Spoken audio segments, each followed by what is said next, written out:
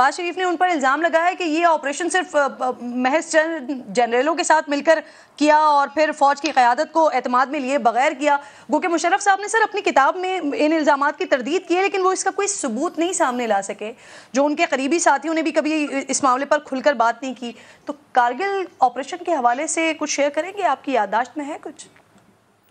जी, कारगिल का ऑपरेशन जो है, जिसमें पाकिस्तानी फौज के ऑफिसर और आदमी ने बहुत बहादुरी दिखाई और हिंदुस्तान के कई किलोमीटर इलाके में और पहाड़ी चोटियों पर कब्जा किया और अगर वो नीचे उतर के हम्म। दराज कारगिल रोड जो जारी थी उसको काट देते तो सियाचिन का महाज भी काफ़ी प्रेशर में आ जाता और कमज़ोर पड़ जाता।